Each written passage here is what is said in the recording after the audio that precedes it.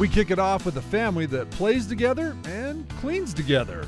This is the Taylor family, eight siblings, many grandkids, and one great grandchild.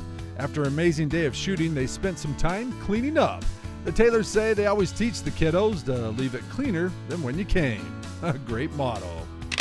Curtis says taking his grandson Jace fishing never gets old. Jace has loved fishing since he was two and already has plenty of fish stories to tell.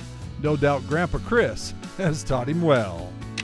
Sarah was out on the Weber River doing a little fishing and she caught this nice little brown trout and her golden girl Olive wanted a closer look.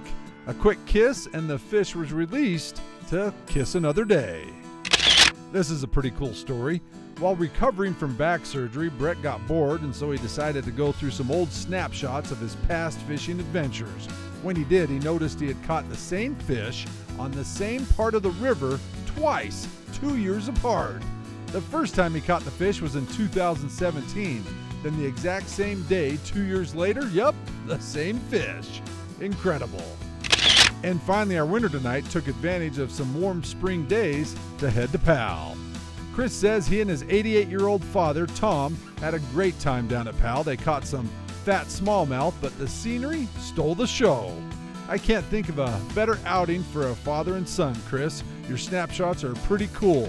Cool enough to garner you and your dad our big prize, because you guys just won our Snapshot of the Week. Remember, submit your pictures or video, plus an explanation of your latest outdoor adventures, online at ksltv.com. The winner each week wins the durable, versatile Camp Chef Explorer two burner stove. Check out this stove and much more Camp Chef gear at Smith & Edwards. Plus, the winners also entered into our Ford Trucks quarterly Facebook giveaway for a Camp Chef pellet grill. The most versatile outdoor cooking gear you'll find. Camp Chef, the way to cook outdoors.